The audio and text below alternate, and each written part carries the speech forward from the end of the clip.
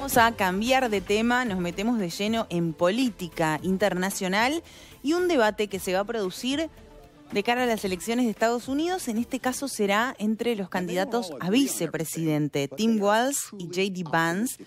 Se convirtieron este martes en primera línea de defensa de las candidaturas demócratas y republicanas a la presidencia de Estados Unidos. Por supuesto, allí vemos lo que fue el debate el único debate entre ambos y previsiblemente esta es la última ocasión para las campañas de exponer sus programas o de derribar los del contrario, por supuesto.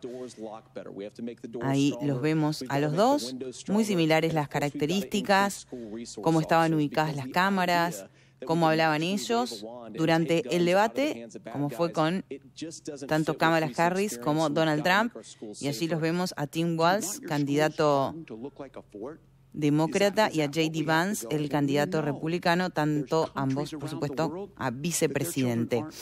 Bueno, te voy a contar un poquito más entonces el ex el experimentado Walz, gobernador de Minnesota, y el también Vance se presentaban al país y en el transcurso de cara a cara cambió todo. El joven senador por Ohio resultó más convincente, ¿sí?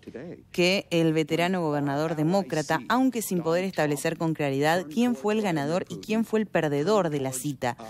Entre ambos reinó algo parecido a la cortesía que hizo fluir el debate pese al rígido formato de preguntas y de respuestas pautadas.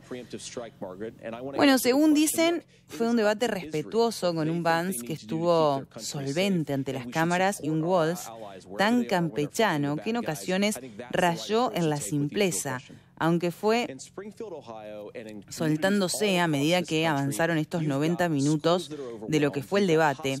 Parecía que en comparación con los debates presidenciales, estamos hablando, por ejemplo, el primero que fue Trump frente a Biden y en junio, luego fue el mes pasado con Kamala Harris, Incluso hicieron política de una manera civilizada, con sus incongruencias y con sus contradicciones, y un intento de verificación instantáneo en algunos puntos. Al final, Vance y Walls se dieron la mano cordialmente después de dirigirse frecuentes guiños de complicidad, al menos sobre el papel de estoy de acuerdo con Tim o estoy de acuerdo con el gobernador, sí, fueron frases que sonaron a menudo.